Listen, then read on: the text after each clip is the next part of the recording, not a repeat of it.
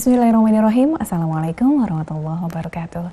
Allahumma sholli ala Muhammad wa ala Muhammad. Assalatu ala asrafi wal mursalin wa ala alihi washabihi ajmain amma ba'du. Alhamdulillah sahabat MKTV di mana pun Anda berada, senang sekali saya Rara Azhara bisa kembali menemani Anda semua dalam program Inspirasi Pendidikan.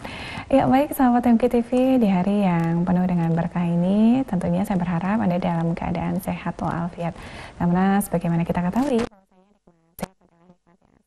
harus kita mintakan kepada Allah Subhanahu wa taala setelah nikmat iman kita punya. Dengan sehat tentunya sahabat MKTV kita akan banyak bisa melakukan ibadah kepada Allah Subhanahu wa taala. Karena itu adalah tujuan dari penciptaan manusia di dunia ini yaitu untuk beribadah kepada Allah Subhanahu wa taala. Dan bagaimana sahabat MKTV ketika kita berbeda kita pun perlu ilmu. Ilmu tidak hanya melulu ilmu dunia, tapi, eh, tidak melulu hanya ilmu tentang syariat, tapi ilmu dunia yang membekali perjalanan hidup kita di sini pun harus kita uh, punyai. Salah satunya adalah dengan menempuh jenjang pendidikan di sekolah uh, menengah, di sekolah tinggi, termasuk juga di sekolah uh, yang awal ya, yaitu sekolah dasar.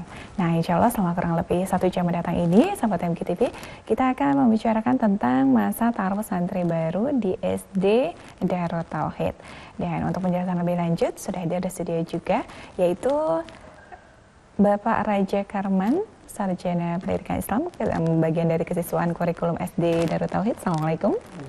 Sehat ya? Alhamdulillah. Alhamdulillah. Kemudian di sampingnya juga ada Ibu Agan Sosio Widiowati, sama Sarjana Pendidikan Islam juga sebagai Ketua Pelaksana dari Masa Ta'aruf Santri Baru SD Darut Tauhid di tahun 2019 ini. Sehat ya Bu ya? Alhamdulillah. Alhamdulillah, Masya Allah.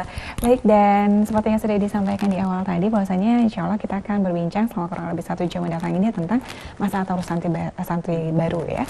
Tapi sahabat MKTV ataupun audiens yang menyimak ini juga tentunya secara nasional Beliau ingin tahu selama kurang lebih perjalanan 29 tahun Yayasan Pendidikan Darut Tauhid telah ada di sini ya di Indonesia uh, apa yang memang bisa diberikan dalam jenjang pendidikan sekolah di bawah di KNAS ya?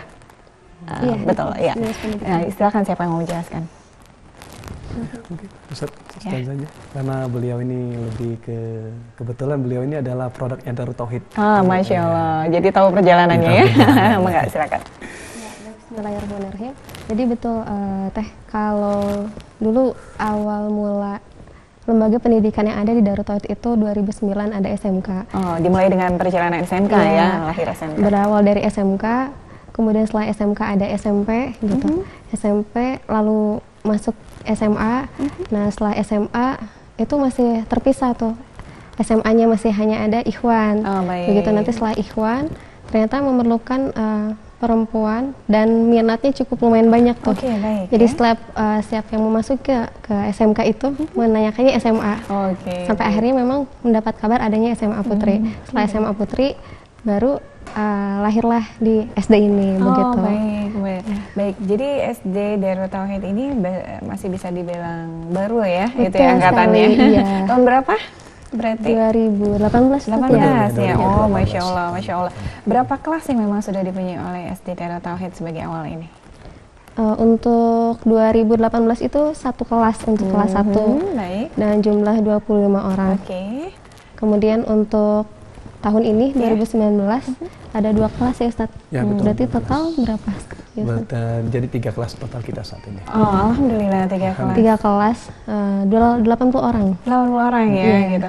Baik kalau misalnya untuk kuota penerimaan di tiap tahunnya nih, itu kan sebetulnya kalau dari awal kan mungkin baru satu kelas saja gitu ya, tapi hmm. ketika ke sini hmm. semakin bertambah gitu yeah, ya, dan minat juga para jamaah untuk bisa menitipkan buah hatinya menuntut ilmu gitu ya, di DT kan semakin tinggi juga gitu ya. ya. betul sekali. Bagaimana kan mungkin ke depannya nih ya gitu berharap mungkin bisa lebih banyak lagi dengan sarana prasarana yang memang lebih dilengkapi atau seperti apa? Hmm. Kalau sejauh ini sih untuk angkatan dua ini hmm. sebetulnya kalau yang mendaftar tuh kemarin banyak Ustaz ya? Ya betul. Kalau untuk daftar sih sebenarnya kita banyak. Kalau kita buka saja pendaftaran itu bisa sampai empat kelas. Masya Tapi Allah, hanya baik, saja kita hanya dikasih kuota dua kelas. Okay. Yeah. Dua kelas dikasih kuota. Tapi tahun ini kemarin uh, direktur pendidikan sudah kita pas kita rapat juga sudah menyampaikan uh, diberikan amanah tahun depan itu kalau bisa tiga atau empat kelas. Masya Allah. Oh, lebih banyak lagi iya. begitu.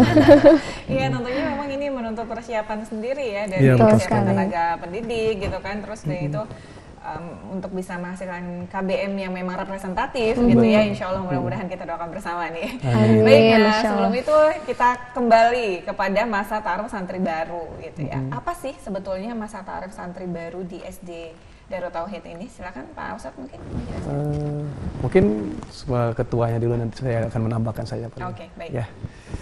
Ya baik mengenai masa ta'aruf siswa baru, sebetulnya istilah mataba ini singkatan begitu ya Teh. Masa ta'aruf siswa baru ini sudah dicanangkan dari dua, tahun 2009 begitu.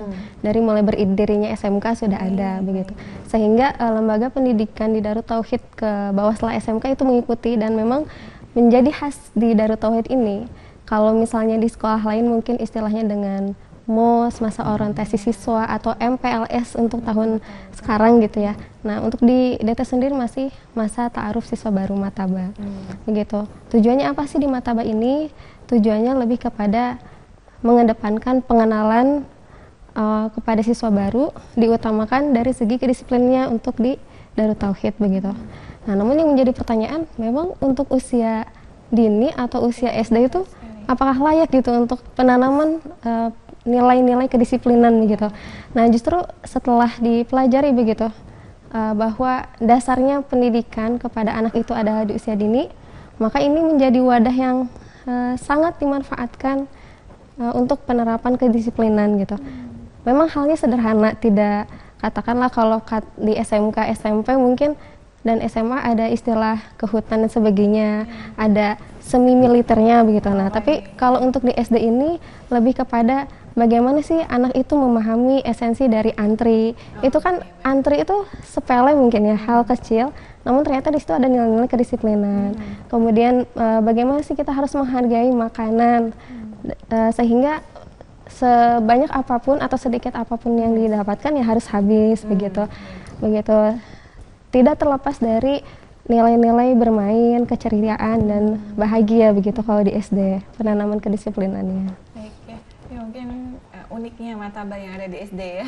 Iya, Kalau di kakak-kakaknya kan di SMP, SMA, SMK karena mereka juga boarding gitu Iya, ya. Jadi betul sekali. nilai-nilai santri yang ada di sini semua bisa diadaptasikan pada saat mataba tersebut Mhm, gitu ya. Tapi betul. karena ini memang bukan boarding juga Iya. dan usia mereka juga masih usia bermain gitu Iya, ya. betul. Diperlukan trik yang khusus gitu ya agar Iya. sebetulnya eh, mereka tuh ber- berasanya bermain gitu ya Iya. seperti itu gitu. Padahal nilai-nilai memang nilai-nilai Islam itulah itu yang masuk di situ Mhm, gitu kan ya. Baik, nanti kita akan lanjut lagi sahabat MG TV penjelasan tentang masa taruh santri baru di SD Darut Tauhid. Tapi kita akan jeda sejenak, kita kembali setelah pas informasi yang berikut ini.